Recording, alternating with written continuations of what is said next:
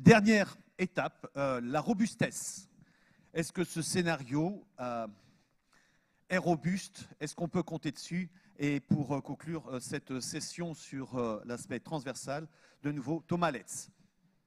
Alors après plus de dix années d'élaboration d'un outil avec plein plein de variables, de cellules dans tous les sens, on a maintenant un, outil qui nous permet de, faire des tests de sensibilité, donc de tester des variantes, de regarder ce qui se passe si on change tel ou tel paramètre. Alors euh, pendant l'élaboration de, ce travail, on a testé une quinzaine de variantes, mais en prenant les paramètres un par un pour voir un peu ce qui se passait. Finalement, quand on isole les paramètres un par un, on a des influences qui sont assez faibles, ce qui est normal. Là, je vais vous présenter des variantes plus globales, où on regarde globalement ce qui se passe sur un certain nombre d'indicateurs, si on, met en œuvre des variantes différentes. Alors les indicateurs, c'est les consommations de pétrole et de gaz naturel résiduels. Euh, on, a, effectivement éliminé le charbon et l'uranium. Ce sont les variables d'ajustement pour boucler le, bilan énergétique de l'ensemble. Et puis ensuite, un certain nombre de, de paramètres euh, d'émissions de gaz à effet de serre ou de CO2, euh, soit annuels en 2050, soit cumulés sur la période 2015-2050. La première variante, c'est de dire qu'est-ce qui se passe si on élimine toute la sobriété. La deuxième, c'est de dire sur la mobilité, on ne met pas en œuvre des mesures de sobriété, donc de réduction des distances parcourues et de transferts modaux. Et puis, euh, deux autres variantes, une qui regarde la, vitesse de mise en œuvre de la rénovation et l'autre, déploiement des ENR.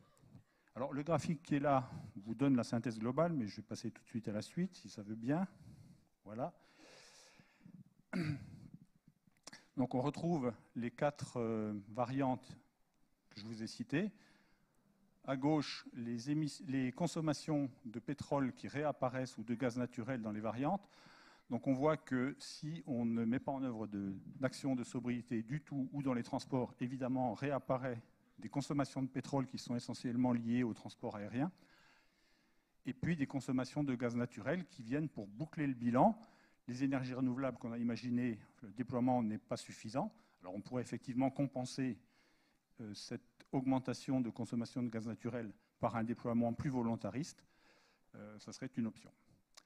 En termes d'émissions, là aussi, euh, par rapport au scénario de base qui vous est rappelé ici, si on ne met pas en œuvre la sobriété soit globale, soit dans, soit dans le secteur des transports, les émissions en 2050 sont multipliées par 2 ou 2,5. Et en cumul, on a effectivement aussi des, euh, explosions, des, quantités qui sont stockées dans l'atmosphère. Donc ça, ça renvoie à ce que Thierry Salomon vous a présenté tout à l'heure.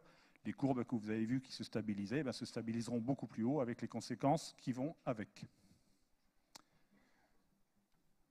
Voilà.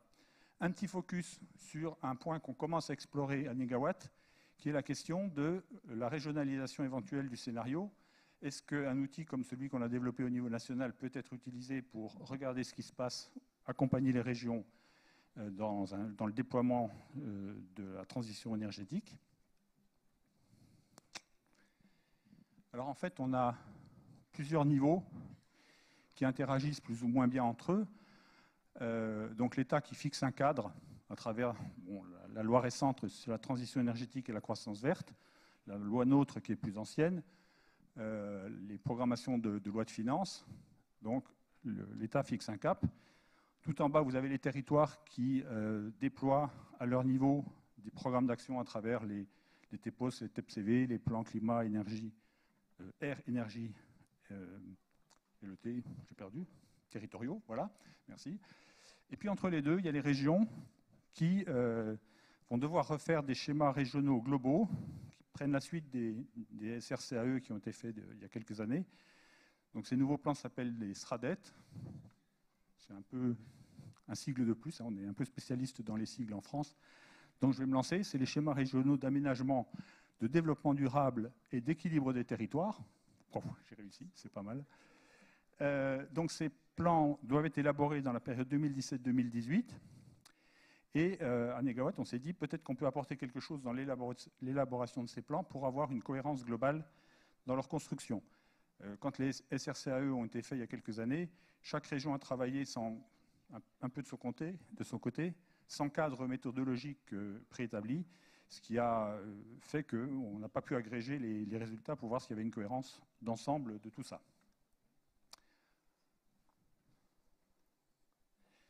Alors juste pour illustrer ce vers quoi on essaye d'aller, l'idée c'est d'utiliser l'outil qu'on a en descendant sur une maille régionale, donc en, utilisant le même type de, méthodologie. Euh, et voilà par exemple ce que ça pourrait donner sur le photovoltaïque. Alors, les camemberts que vous voyez sont euh, la déclinaison territoriale du scénario photovoltaïque que Marc vous a présenté tout à l'heure, donc en termes de puissance, avec des différences évidemment selon les régions. On retrouve les, déclinaisons par euh, segment de, euh, le diffus, les, centrales au sol, les centrales sur les grandes toitures, bon, peu importe. Et euh, si effectivement on mouline tout ça avec un, outil global qui permet de faire l'équilibre en énergie annuelle et en puissance horaire, ça permet de mettre en évidence effectivement que des régions vont avoir des potentiels importants qu'elles ne, vont pas forcément valoriser localement. Donc typiquement, par exemple ici, ça serait la, Nouvelle-Aquitaine, euh, et qui pourrait euh, mettre à disposition des territoires voisins, et en particulier de la région parisienne, des excédents d'électricité photovoltaïque. Donc l'idée, c'est d'essayer de bâtir ce type de, carte pour tout un tas de, euh, de ressources renouvelables, le photovoltaïque, l'éolien, la biomasse, etc.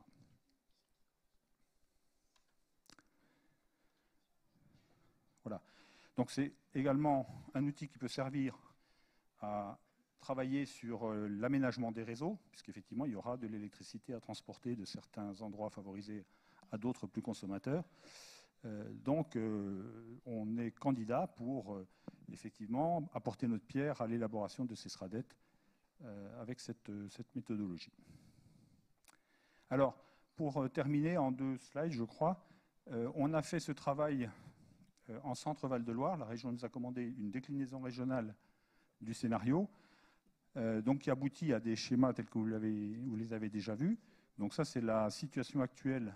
La région centre-Val de Loire a 12 réacteurs nucléaires, donc est fortement exportatrice d'électricité ici, qui va alimenter les régions voisines. À droite, vous retrouvez les demandes en chaleur, mobilité, électricité spécifique. Et puis, les combustibles fossiles ici. Quand on scénarise ce qui se passe sur la région avec une méthodologie du même type que celle qu'on a utilisée au niveau national, on arrive à un schéma où il y a effectivement quasiment plus de, fossiles, plus d'uranium et des renouvelables. Et là aussi, la région se retrouve exportatrice. voilà pardon, je suis allé trop vite.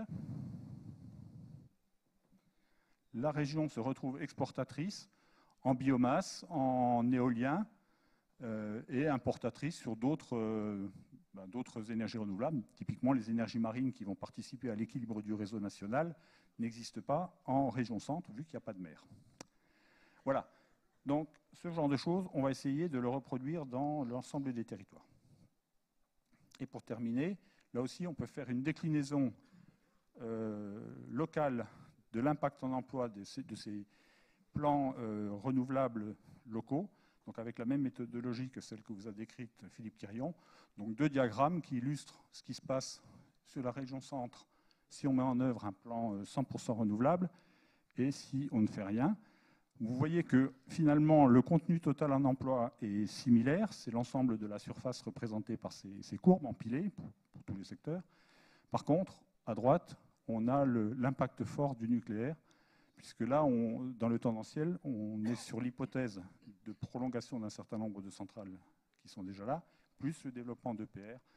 Donc, on aurait des variations d'emploi euh, sur le territoire beaucoup plus marquées, donc peut-être beaucoup plus difficiles à gérer d'un point de vue humain. Voilà. Merci Thomas. Et voici qui clôt la présentation pour la première fois de ce scénario 2017 de l'association Negawatt